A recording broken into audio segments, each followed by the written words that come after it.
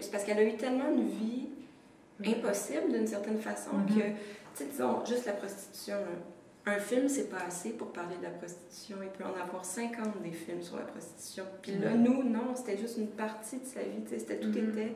C'est d'essayer d'aller le plus loin possible dans chaque facette, mais sans. C'est pas une télésérie non plus. Ouais, La première chose que j'ai fait pour vrai, c'est relire tous ces livres. J'ai comme, j'étais allée Mhm. euh, acheter là, les nouvelles éditions, justement pas barrées, rien dessus, puis comme neuf. J'ai commencé à tout relire.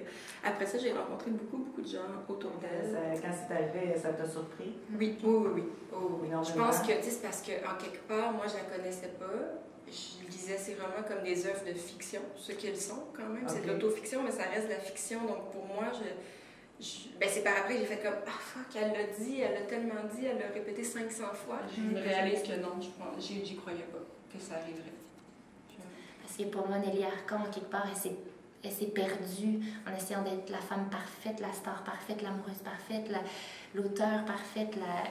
Elle s'est perdue dans tous ces personnages de femmes. Puis ça peut arriver, à- comme ça peut arriver à beaucoup d'autres femmes. Mais avec toi, en, en sachant aussi euh, ce que tu nous as dit au départ, je trouvais que ça donne un échange vraiment vrai. Puis euh, ça, ça me touche beaucoup. Je trouvais ça vraiment le fun. Merci Ben, de ton honnêteté. Ouais. C'était, je suis Ouais, vraiment contente. Mais moi, j'en ai une question, mais c'est pas pour Thank you.